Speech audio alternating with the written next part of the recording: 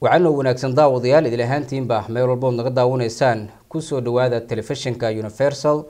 Wareysi gaar ah ayaa waxaa marti iigu ah doctor cabdirashiid caafi oo ah sharci yaqaan islamarkaana si dhow ula socdo siyaasadda soomaaliya iyo weliba tan mareykanka.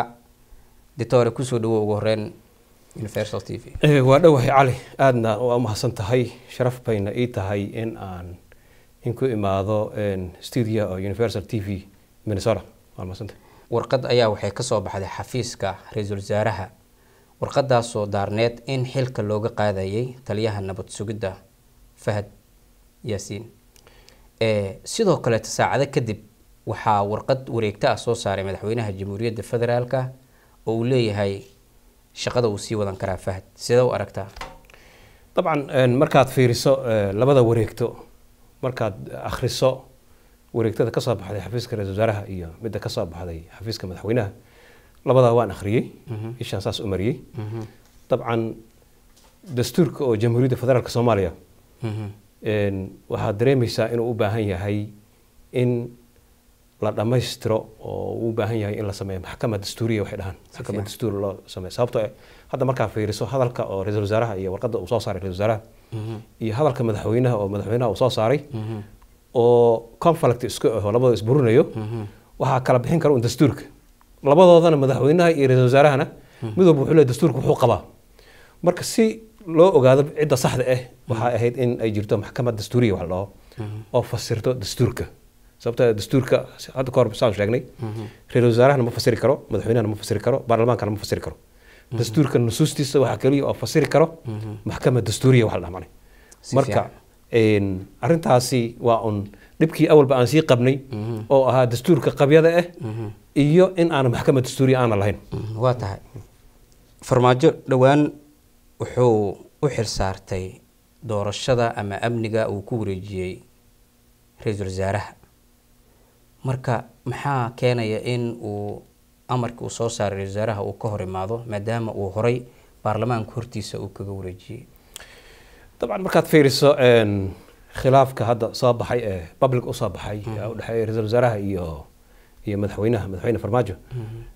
Uu soo jiitamayey in badan uu soo jiitamayey khilaafkooda. Wuxuuna ku salaysnaa qaabka oo directionka iyo siyaasadda qaabka u socota soomaaliya. Dabcan somalia waxay ku jirtaa waqti xasaasi ah oo dhib badan ayay ku jirtaa. Marka qaabka loo maareynaayo wadanka ayay in badan isku khilaafeen markaad fiiriso safarkii oo ra'isul wasaaraha uu ku aadayay nairobi madaxweynaha muusan ogoleyn dabcan isagoo markaas dareemayey faragelin shisheeye inay meesha imaanayso. Invitationkii ka imaaday maxamed bin salmaan ee sacuudi carabiya ra'isul wasaaraha iyo dowlad goboleedyada inay cumrada imaadaan oo kalento wuu diidanaa madaxweynaha ma ma mama rabin. Dabcan khilaafka marka wuu soo socday. Khilaaf soo socda ahaa marka waxaan is leeyahay ra'isul wasaaraha wuxuu cuskaday qodobo ahayd in la isticmaalo marka wadanka uu ku jiro caadi oo emergency uuna ku jirin wadanka soomaliya hadda wuxuu ku jira khilaaf iyo dagaal iyo asmad dastuuriya waxay dhahaan iyo baarlamaanka oo damaanadii ay ka dhamaatay mandatekii uu ka dhamaaday iyo golihii wasiirada oo mandatekii uu ka dhamaaday. Iyo wadanka oo dhan wuxuu ku jiraa temporary. Jiraa marka aan leenahay eh, khilaafka intaanan u gudagelin ra'iisul wasaaraha maadaama madaxweynaha uu horay ugu wareejiyey doorashada amnigeeda iyo amnigii guudba. Maxaa marka ma islasdhihi karaa madaxweynaha tii ayadaheed wuu ka laabtay?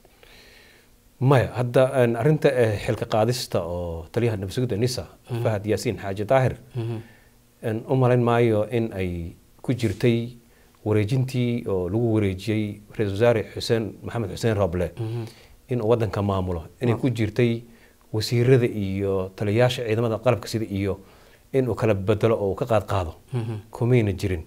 Marka dastuurka aad akhriso si dhiib aad u akhrisana waxaad arkaysaa taliyayaasha ciidamada qalabka sida taliyaha guud ee ciidamada qalabka sida taliyaha nabad sugidda taliyaha asluubta taliyaha booliiska.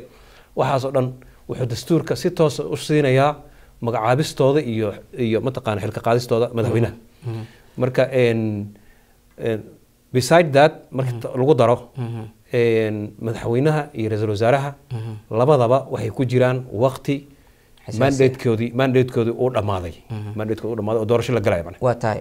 Villa soomaaliya muddo dhowr bilood ah ama laba biloodba ayaa waxay ka aamusneyd kiiskii gabadhii ee muranka badan dhaliyey ee la waayey ikraan tahliil islamarkaana aada loogu tuhmayey gacanta nabad sugidda balse markii ay dhacday in warqado wasaaraha uu soo saaray si deg deg ayaa looga hadlay fahad sidoo kale xilka markii laga qaaday.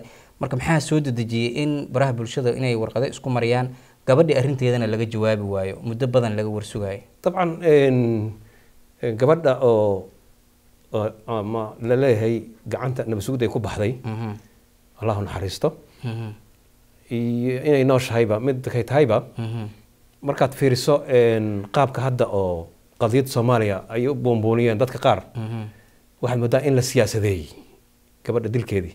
In la siyaasadeeyey oo ajanda laga dhigtay mani ajanda arrintan waa arrin criminal oo dhiig ku salaysan oo ruux la waayey oo saas kalento waa cadaalad la raadinayo.